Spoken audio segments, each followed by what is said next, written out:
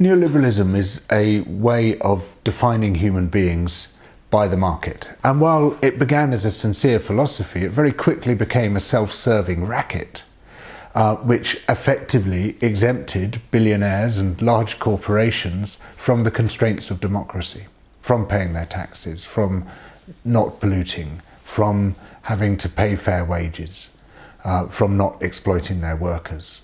One of the things that neoliberalism wants to get out of the way is democracy. In some respects, it's been absolutely overt about that. Frederick Hayek, in The Constitution of Liberty, saw democracy as an impediment to the freedom of the very rich.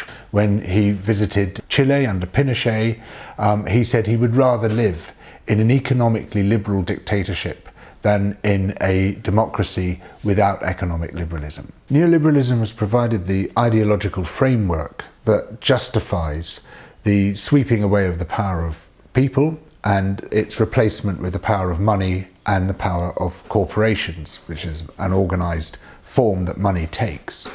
Um, and it's been extremely successful in, in, in this respect, um, leading to the mass deregulation of those corporations, um, including the deregulation of mergers and acquisitions, allowing them to form a new wave of monopolies banks too big to fail, corporations too big to fail, privatized public services too big to fail, all of which end up getting bailed out by the state uh, because um, they simply can't function in the real world because they are not sufficiently subject to the constraints that people would, would, would wish to impose on them and they um, tend necessarily towards crisis uh, without that state intervention. So there's a profound irony here in that neoliberalism was supposed to get the state out of the way, but it requires intense state involvement in order to function.